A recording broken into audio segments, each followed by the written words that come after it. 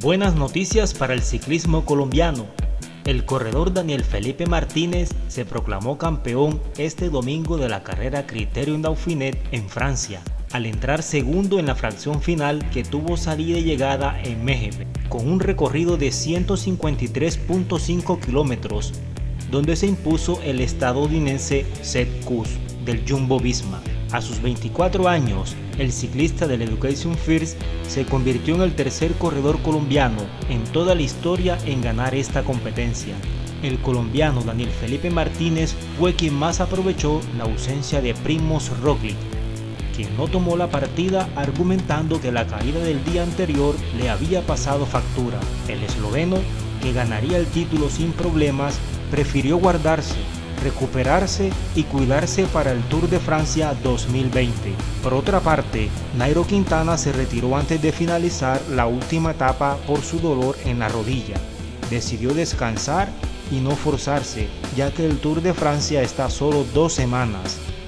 Así quedó el podio final del Criterium Dauphiné 2020. Daniel Felipe Martínez es acompañado por dos franceses, Thibaut Pinot quien fue segundo, y Martín Guillaume tercero. A dos semanas del inicio del Tour de Francia, no se sabe a ciencia cierta quién pueda ser el amplio dominador de la máxima competencia ciclística del World Tour profesional, ya que sus máximas figuras están pasando por dificultades. Chris Froome no está en su mejor nivel y no se le ha visto clara recuperación al igual que a Geraint Thomas. A Egan Bernal lo aqueja un fuerte dolor de espalda. A Nairo Quintana su dolor en la rodilla.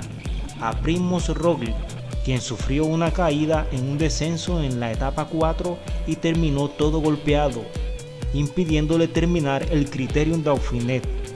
A Emmanuel Bumman y Steven Kreisberg también accidentados, uno con un hombro dislocado y el otro con fuertes raspaduras y muchos moretones.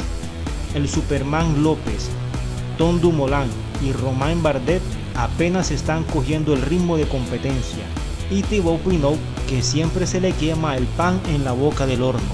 Así que no está claro un fuerte dominador para el Tour de Francia. Por último te dejaré la clasificación final del Criterium Dauphiné 2020.